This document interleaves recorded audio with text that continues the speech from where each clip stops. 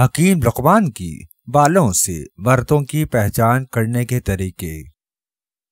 जिसके बाल भूरे हों, वो बेवफा मर्द होता है। जिसके बाल सीधे हों, वो दौलत का शौकीन होता है। जिसके बाल घुंघरियाले हों, वो सुस्त बंदा होता है। जिसके बाल लंबे हों, उसका हमेशा काला होता है। जिसके बाल ज़्यादा काले हो वो औरतों के पीछे ज़्यादा भागता है और दिलचस्पी रखता है। जिसके बाल में ज़्यादा जोए हो तो समझ जाओ वो जानी मर्द है।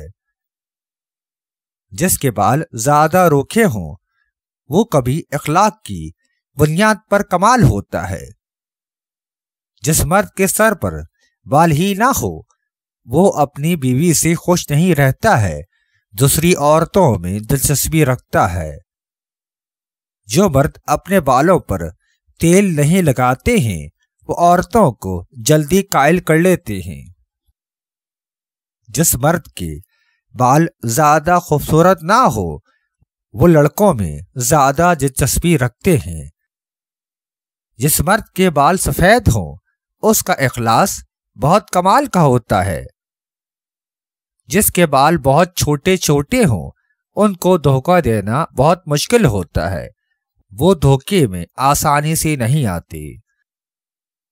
जिस मर्द के बाल लड़कियों जैसी हों, उनमें लड़कियों जैसी आदतें पाई जाती हैं।